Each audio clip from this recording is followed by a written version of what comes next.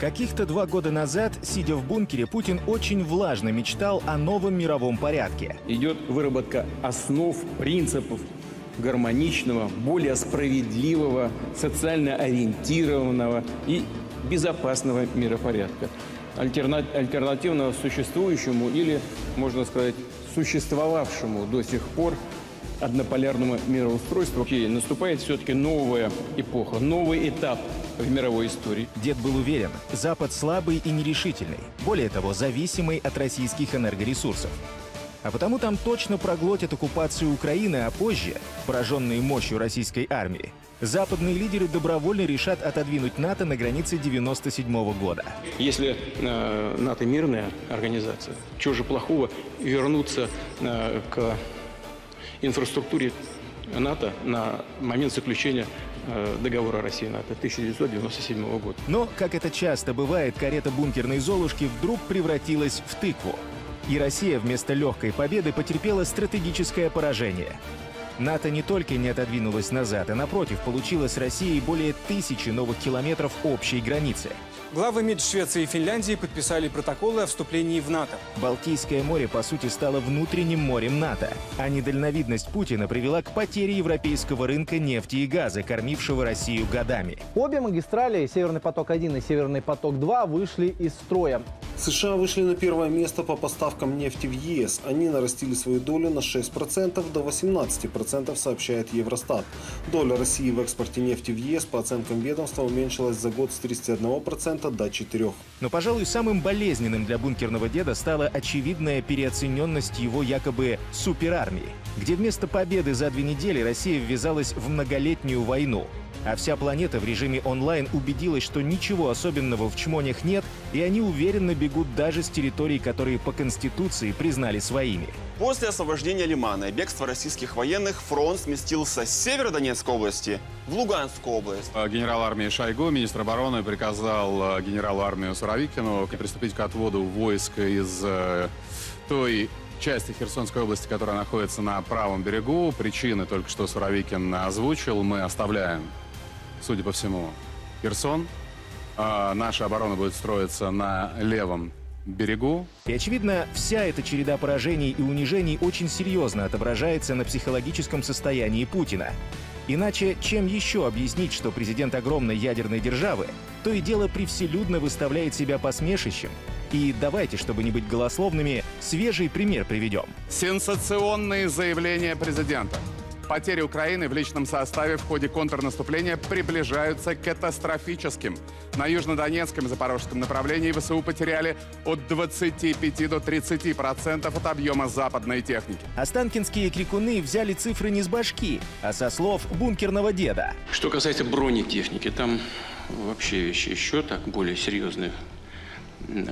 Значит, они за это время потеряли, потеряли свыше 160 танков и свыше 300, э, 360 бронемашин разного типа. Но это все мелочи на фоне барабанная дробь сразу пяти уничтоженных в районе Киева систем ПВО «Патриот». Ну, послушайте, вот если мы под Киевом уничтожили 5 комплексов «Патриот», то что нам стоит э, уничтожить любое здание и сооружение в центре Киева?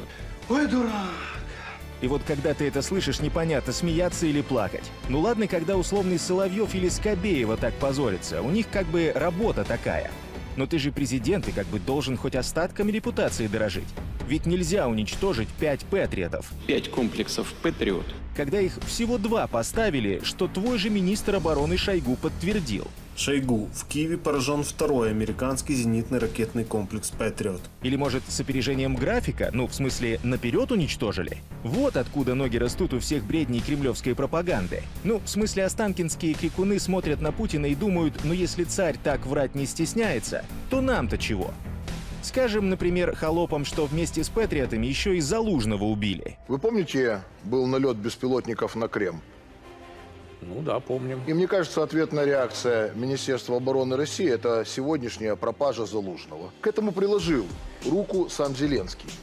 Слив координаты, потому что в данном случае Зеленский избавился от своего политического конкурента. А когда выяснится, что это позорный фейк, просто перепишем в темниках фамилию Залужный на Буданов. Глава украинской разведки Буданов был ранен 29 мая во время российского удара по зданию его ведомства.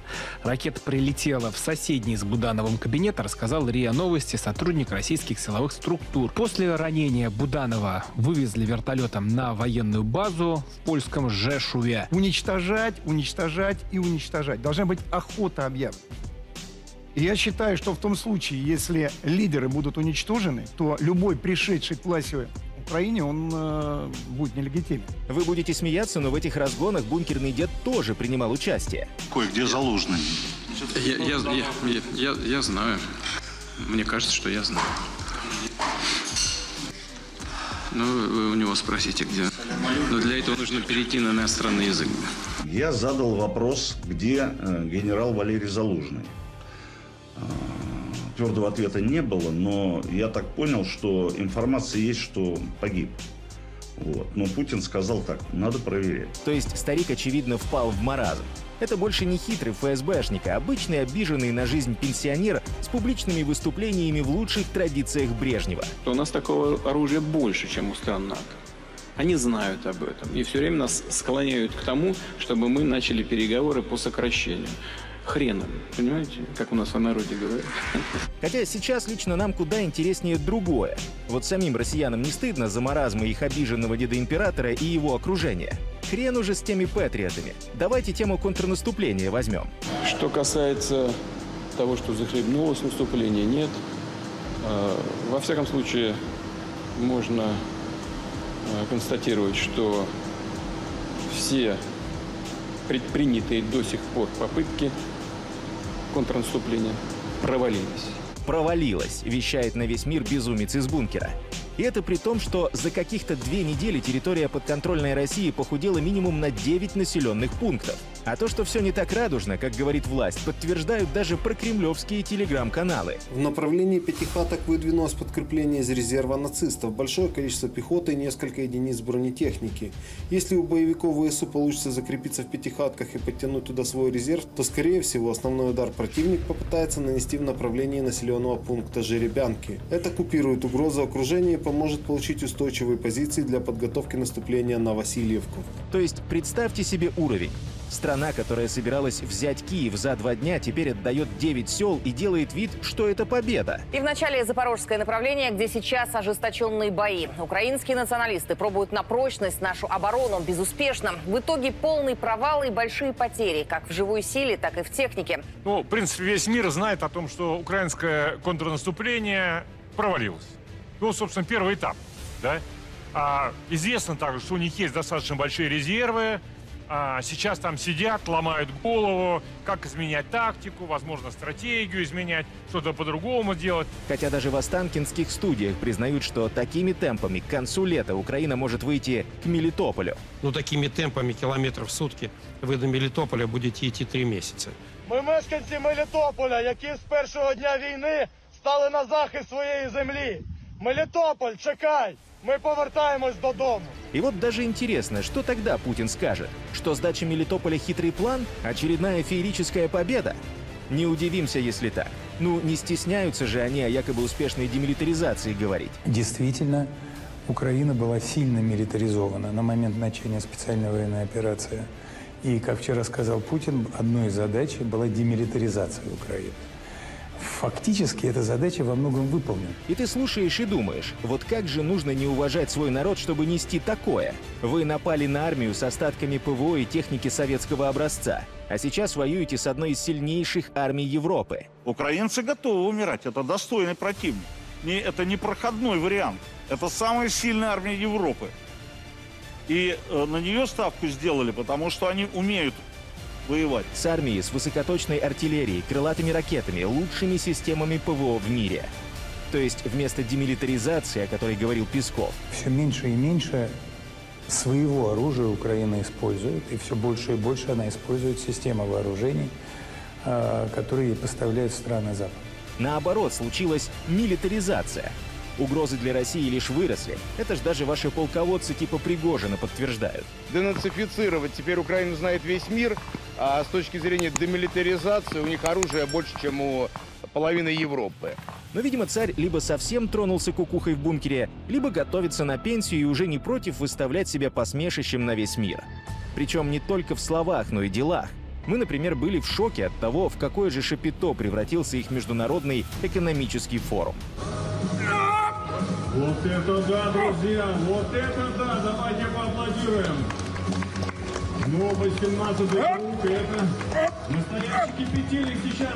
Ведь смотрите как.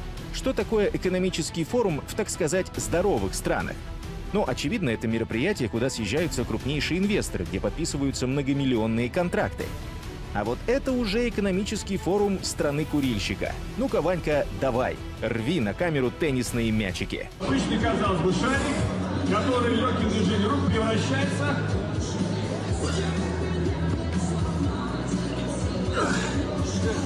Поддержка нужна, я думаю. Поддержка. И ладно бы это был единственный позор, но нет.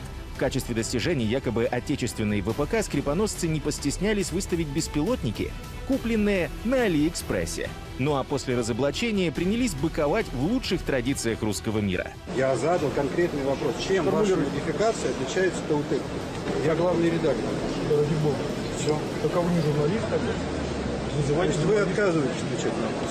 Я попрошу вызвать час охраны и пойдете И, наконец, вишенкой, а точнее черешенкой путинского позора стали краденные ягоды из Мелитополя. Ведь экономический форум по-русски — это когда ты ничего не умеешь делать сам. Зато иногда получается стащить что-то у соседа. На Российском экономическом форуме показали украденную из Украины черешню как достижение. На опубликованных фото черешню раздают в красно-белых коробках и бело-зеленых стаканах. На упаковке можно рассмотреть надписи «Отборная черешня», «Экопродукт», «Мелитопольская черешня» и «Выращена в России». И стоит ли говорить, что смотрелось все это максимально жалко? Страна, погрязшая во вранье, с президентом-маразматиком, хвалится украденной в Украине черешней. Вот это ваш мировой порядок, ребятки, а не тот пафосный бред, который пропагандисты годами людям на уши выливали. Мы должны внутри собраться и помнить о том, что все смертны. Но есть много ради чего стоит умереть. Есть нечто гораздо больше, чем личное и чем жизнь одного человека. Это Родина и ее судьба. И здесь бы пропагандистам сделать работу над ошибками, так сказать, прикрутить количество липовых побед и пафоса. Ну, чисто из соображений, чтобы потом было не так больно падать. Но нет. Мышки плакали, но упорно продолжали кушать кактус. Но мы Путин не сказал, что мы не пойдем на Киев. Нет, э, не сказал. Нет, он, он сказал, что потом скажет отдельно э, нашим военкорам. И вот когда Соловьев после такого начинает корчить из себя якобы мега важную цель для Украины, Я мишень номер один для укронацистов, ну, естественно, в своей среде, в своей категории. За мной охотятся. Не удивлюсь, если за мою голову обещана награда. мол, бандеровцы мечтают ликвидировать его за правду, О чем это свидетельствует? О том, что то, что я говорю, истина, которую они боятся. это говорит только о том, что в России снова вообще не понимают настроение в Украине. Ведь при всей своей токсичности и неадекватности Мы сейчас один раз бровь поднимем, и Украина поймет все. Стратегическое терпение России кончилось. Что сказал Путин? В сортире найдем, в сортире будем мочить. сказал, что- Это должно относиться и к украинским террористам. Мы пока гадину до конца не задушим, не остановимся. Сколько людей положите? И сколько людей положим? Сколько надо, чтобы победить нацистскую гадину, столько и положим. Тот же Соловьев — это, безусловно, плюс, а не минус для Украины. Ведь не дай бог с их бюджетами информационную политику отдадут каким-то адекватным и даже умным людям. Вот тогда будет реально сложнее. А пока на верхушке российской пропаганды приспособленцы из Армении или поехавший дед, Еретика, раскольника, палача народа православного, Вовку Зеленского и содомитов его. Вот как так, да? Ну, Владимир Владимирович. Анафеме. нас это более чем устраивает. Буданов, как воскреснет на днях, еще и грамоту Соловьеву почтовым голубем вышлет. Как говорится, работайте, братья. Ведь каждая ваша ложь и каждый маразм приближают победу Украины.